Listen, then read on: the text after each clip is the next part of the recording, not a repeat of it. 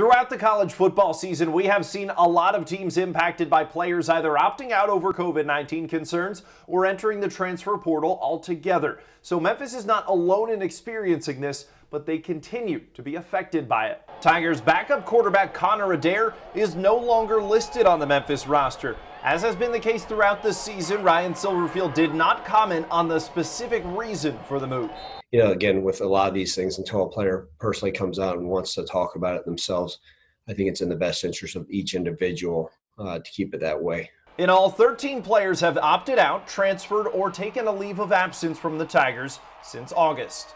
I think this year more than any, right, where we know we're dealing with 18 to 22 year olds that are dealing with a lot. Uh, many of them are, you know, have COVID concerns and understand the opt out situation. Uh, we have others that want to transfer and go find a better situation for themselves, generally regarding playing time.